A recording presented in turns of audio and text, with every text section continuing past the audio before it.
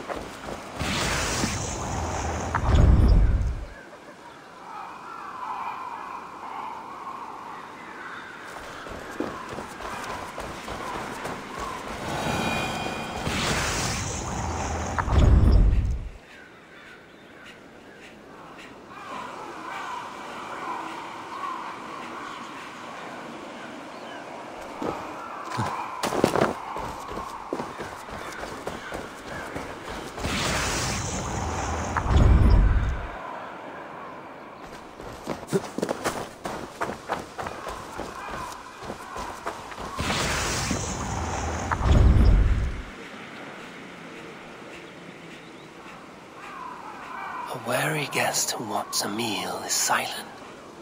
He listens and looks about.